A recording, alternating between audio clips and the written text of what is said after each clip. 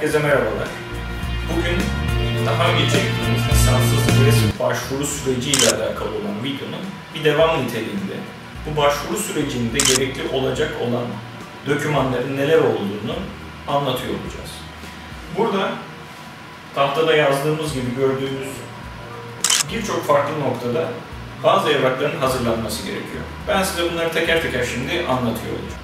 İlk olarak tabii bu başvuru evraklarını hazırlamadan evvel bilmeniz gereken veya hatırlamanız gereken nokta bu başvuruyu nereye yapacağınız.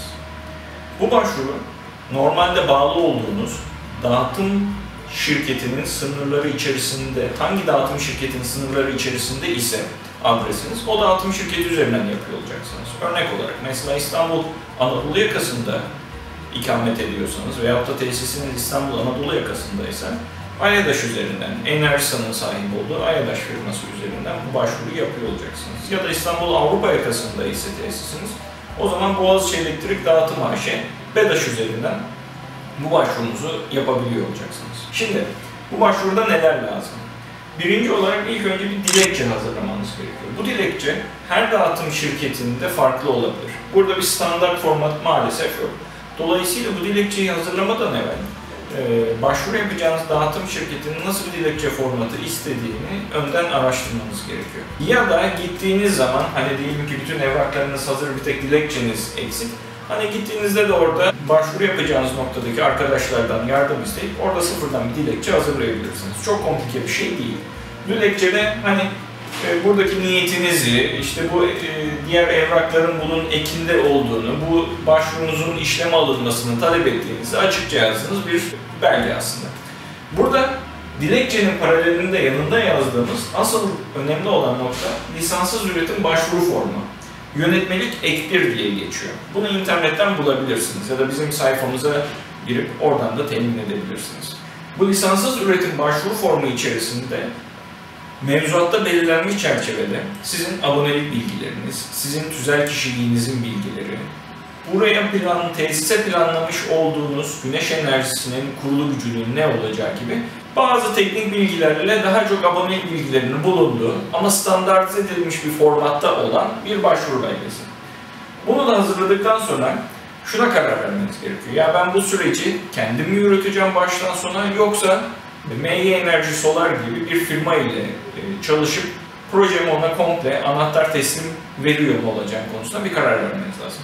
Diyelim ki eğer bunu kendiniz yapıyorsanız bu ikinci maddeye ihtiyacınız yok. Çünkü yani bir vekaletname değil, direkt birebir olarak firma temsilcisi olarak kendiniz yapabilirsiniz. Fakat alternatif olarak projeyi vereceğiniz firmayı belirlemişsiniz. O zaman MY Enerji Solar'a burada bir vekaletname veriyorsunuz. Bu vekaletname çerçevesinde sizin ilgili dağıtım şirketinde, ilgili belediyede, TELAŞ'ta, TİH'ta işlerinizi sizin adınıza yönetebileceğimize dair bir aslında standart doküman. Bunu da hazırladıktan sonra burada 3, 4, 5 ve 6'ya kadar olan maddeler aslında standart.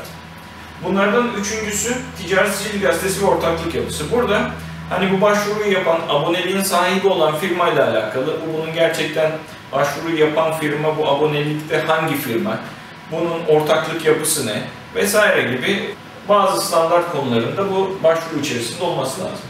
Diğer standart konusu da tapu. Burada tapu aslında veyahut da noterli. İsterseniz noterli e, fotokopisini, noterli tasdikli versiyonunu alıp verebilirsiniz. Ya da bir fotokopisini çeker, aslını götürür. Orada ilgili arkadaşlara bunu e, beyan ettiğinizde onlar orada aslı gibidir yaparlar. Burada bir sıkıntı yok. Diğer nokta bir elektrik faturası. Zaten elektrik faturası sizin için temin etmesi zor olmayan e, belgelerden bir tanesi. Altıncı noktada bir dekont. Burada tabii eğer başvuru gücünüz hani yönetmelik ek 1'de lisanssız üretim başvuru formunda bunu 250 kW'ın üzerinde bir kurulu güç olarak başvurusunu yapmaya karar verdiyseniz burada 250 kW ve üstündekiler için bir başvuru harcı bulunuyor. 0 ile 250 kW arasındaki başvurularda ise bir başvuru ücreti yok. Dolayısıyla 250 kW'ın üstünde ise burada 830 TL artı KDV'lik bir başvuru ücretini yine birinci maddede belirttiğim gibi yani içinde bulunduğunuz dağıtım bölgesine yani başvuru yaptığınız dağıtım şirketi hangisi ise onun ilgili lisanssız elektrik üretim hesabına. Bunu da gene o bölgesinde bulunduğunuz dağıtım şirketinin web sayfasına girip orada IBAN numarasını yani lisanssızla alakalı başvuru için beyan etmiş oldukları IBAN numarasını bulup bu rakamı gönderip artık KDV olduğunu unutmadan gönderip açıklamasına yine gene onların e, kendi sayfalarında talep ettikleri şekilde bir açıklama yazarak ki genelde bu sizin firma isminizi ve bunun bedelinin lisanssız GES başvuru bedeli olduğunu açıklamada yazmanızı istedikleri bir durum var. Bunu da gönderdikten sonra, dekontu da aldıktan sonra aslında standart olan kısmı tamamlamış oluyorsunuz. Burada artık işin biraz daha e, teknik kısmına geçmeniz gerekiyor. Burada 7. ve 8. ve 9. kısımlar biraz daha teknik konular. Özellikle tek hat şeması. Şimdi siz sürekli elektrik işleriyle ilgilenmediğiniz için hayatınızda tek hat şeması sizin e, tesisinizde olmayabilir. Bu tek hat şemasını gene bağlı olduğunuz dağıtım şirketinden bir dilekçe aracılığıyla talep edebiliyorsunuz. Bu tek hat şemasının içerisinde şunların olması gerekiyor. Sizin tesisinizdeki kendi kullandığınız baradan, trafodan, dağıtım şirketinin trafosuna olan hat nereden gidiyor? Bu dağıtım şirketinin trafosunun ismi ve cismi, seri numarası nedir? Bunun içerisindeki hücreler nedir?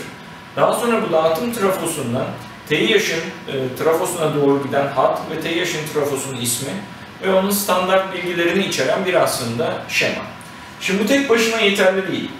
Bunu siz bir dilekçeyle talep edebiliyorsunuz ya da vekaletnameyi verdiğiniz firma bunu sizin adınıza talep edebiliyor. Fakat bunun ilgili mühendisler tarafından yapılacak olan projeye göre bir e, güncellemesinin yapılması gerekiyor. Yani sizin yapacağınız güneş elektrik santrali burada tesise nereden bağlanacak, bu tekat şemasında şebekeye nereden bağlanacak gibi bazı ufak detaylar var.